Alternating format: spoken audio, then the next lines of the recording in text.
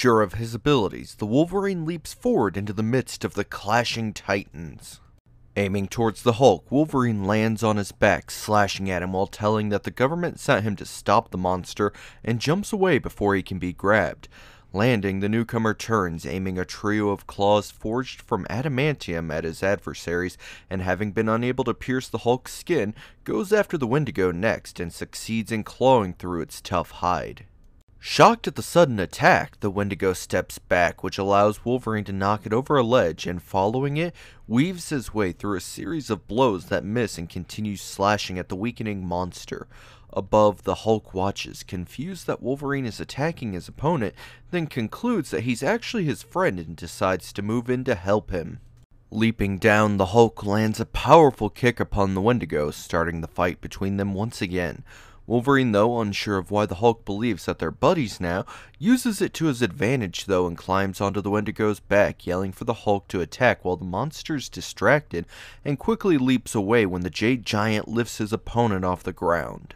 Wolverine is amazed at the Hulk's power as the monster is thrown into a group of trees, breaking and uprooting them with the force. Seeing that the creature is still conscious, he hurls himself forward, unleashing a frenzy of strikes. The Hulk congratulates Wolverine on killing the Wendigo, but he replies that it's immortal and merely unconscious, as an uneasiness spreads between the two, with the Hulk not knowing what to say now that the battle is finished. Wolverine, though, quickly lashes out, taking advantage of the opening, when Hulk, angry now, shouts that Wolverine betrayed him and jumps forward to catch his attacker but misses. Not far away, Georges points out to Mary that her brother might be mortally wounded, but she sees it as a blessing since they can't be attacked now as they hurry forward to drag the unconscious Wendigo away to prepare to transfer the curse to the Hulk when Georges urges her once again to stop. While the two combatants carry on, we turn back to the secret Canadian airbase that's only a short distance away. A man asks if they've heard anything from Weapon X, but learns that they've heard nothing as another worries if it was wise to send him in alone. The first officer then says the government was sure of his abilities, as they have spent plenty of time and money on the mutant to make him viable in the field, and that he's got six hours to bring the Hulk in. If he doesn't, however, they have an aircraft ready to drop a team of commandos to stop the rampaging giant. Back at the fight, Wolverine is struggling to bring his target down when the Hulk lifts a boulder to crush the mutant, but is struck and drops the stone and it breaks against his head, which only further enrages the hero. Not far away on a mound of earth, Mary is making the final preparations for her plan. Warning Georges to stand aside, she begins chanting a spell as she pours a substance into a container, causing it to emit a mysterious gas.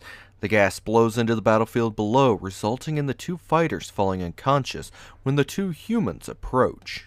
Approaching the Hulk, Mary instructs Georges to help her carry him when he shouts in shock, and they watch as the gigantic green form slowly begins shifting colors until it's no more than the body of a regular person, Dr. Bruce Banner. Insisting that nothing's changed, Georges stops the woman, telling her that he refuses to help her harm a person and that he's done when she tries once again to guilt him into continuing, but he refuses to be goaded into being her accomplice. Ignoring her cries, the man sits and contemplates how Mary shouted of the debt that he owed her and her brother, and how she will never stop her quest. Knowing what he must do, he enters the stone house, determined to find something to put an end to the Wendigo. Back at the battlefield, Mary has tied up Wolverine and moves to drag Bruce to the altar to sacrifice him. When she goes to move him, though, she's stunned at how heavy the diminutive man is when she spots that his skin is turning green again and becomes frightened. The Hulk has returned and is mad that she tricked him as she tries to assure him that she's still his friend. Knowing that she's lying, he decides to smash her when he walks past the woman, looking at Wolverine, who he also hates, and sees that he can't break his chains. Lifting him up and planning to break both him and the restraints, Wolverine is thrown with such force that the bonds break, allowing him to recuperate and launch himself once again towards the behemoth while Mary runs away. Dashing to the stone hovel, she hears a wailing cry and the sound of flesh being ripped when she moves forward slowly, only to be blocked by an awakened Wendigo. Letting loose a piercing scream, the two fighters stop as they hear the cry, though Hulk, focused on fighting, quickly resumes his attack. Sensing the strike at the last second, Wolverine manages to mostly dodge, but still takes a glancing blow that staggers him backwards as the Jade Giant bellows of his victory. While back at the hovel, Mary tries to figure out what her brother is telling her as he gestures before finally pointing merely into the room with the stone slabs. Stepping forward, she peers inside and is shocked to see what Georges has wrought. Inside, she finds the body of her brother as he awakens, the transference of the curse complete when she realizes who the Wendigo really is, and she asks why he did it as the debt he owed wasn't that great. Unable to speak, he merely sheds a tear as he thinks of how she'll never understand how he did it because he loved her. With the last of his humanity rapidly disappearing, the Wendigo smashes his way outside and wades into the forest as Mary screams for him to come back. Outside, the Hulk watches, confused as the Wendigo rushes off into the distance when he hears the sound of someone crying and approaches the house.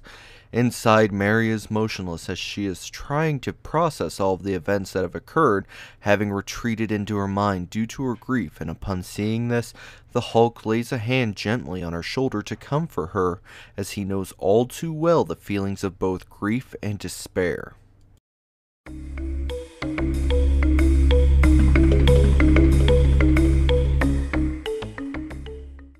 We see both the Hulk and Wolverine outside as an aircraft arrives, informing Wolverine that he's failed his mission and to return to base.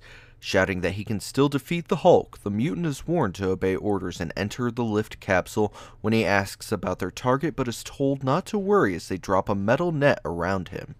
The hero easily destroys the net though when a team of commandos jumps out, though they hesitate as he moves towards them, muttering of how he doesn't like them or their guns, and he plows into them as the airship launches a missile. Detonating at his feet, it releases a gas that upon breathing knocks him out. Awakening a short time later, he finds himself suspended in midair, locked in a cage, and upon realizing this, screams that he can't be held as he easily breaks through the bars. Jumping free, he lands solidly on the ground and begins tearing his way through the forest, leaving a slowly dwindling path of destruction, eventually losing the ship as day turns to night and he hears music in the distance.